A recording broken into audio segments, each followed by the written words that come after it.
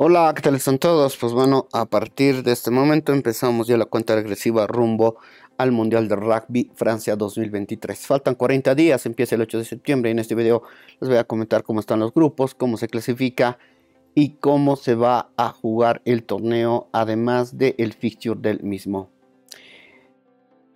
Bueno, tenemos cuatro grupos mm, de cinco selecciones cada uno. Les comento que los dos primeros van a clasificar a los cuartos de final y no solamente clasifican a los cuartos de final, sino clasifican también al Mundial de Rugby 2027.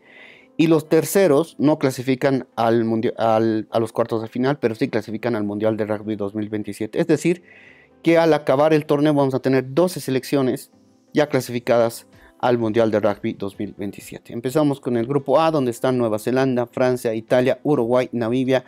Uruguay que está acá, vamos a ver cómo le va a Uruguay. En el grupo B, Sudáfrica, Irlanda, Escocia, Tonga y Rumania. En el grupo C, Gales, Australia, Fiji, Georgia, Portugal. En el grupo D, Inglaterra, Japón, Argentina, Samoa y Chile. Ahí nos tocó Argentina y Chile, los dos representantes sudamericanos. Recuerden que Argentina pues saca una gran ventaja a todos los países sudamericanos, ¿no? Prácticamente es una potencia mundial. Este año le ha ganado Sudáfrica, le ha ganado Nueva Zelanda. Vamos a ver qué tal le da en el mundial. Los cuartos de final se van a jugar del 14 de octubre al 15 de octubre, dos días. Las semifinales del 20 de octubre al 21 de octubre. Y la gran final va a ser el 28 de octubre. Y el, partido por el tercer lugar 27 de octubre. Estamos hablando pues de que va a ser un torneo que va a durar casi dos meses. 8 de septiembre hasta el 28 de octubre. Así es que atentos. Vayamos a ver cómo va a ser el feature de este torneo. Vamos a ver hasta dónde podemos llegar. Viernes 8 de septiembre tenemos Francia versus Nueva Zelanda, lindo partido, los locales versus una de las potencias. Sábado 9 de septiembre, Italia versus Namibia, Irlanda versus Rumania, Australia versus Georgia, Inglaterra versus Argentina, ojo, ¿no? Inglaterra debuta contra los ingleses. Siempre es un clásico desde aquella mano de Maradona en el Mundial de México. Domingo 10 de septiembre, Japón versus Chile, Sudáfrica versus Escocia, Gales versus Fiji. Jueves 14 de septiembre, Francia versus Uruguay. Viernes 15 de septiembre, Nueva Zelanda versus Namibia. Sábado 16 de septiembre, Samoa versus Chile. Gales versus Portugal, Irlanda versus Tonga. Domingo 17 de septiembre, Sudáfrica versus Rumania, Australia versus Fiji, Inglaterra versus Japón. Miércoles 20 de septiembre, Italia versus Uruguay. Lindo debut de los uruguayos. Jueves 21 de septiembre, Francia versus Namibia. Viernes 22 de septiembre, Argentina versus Samoa. tremendo partido. Samoa es una potencia para los que no sepan. Sábado 23 de septiembre, Georgia versus Portugal, Inglaterra versus Chile, Sudáfrica versus Irlanda.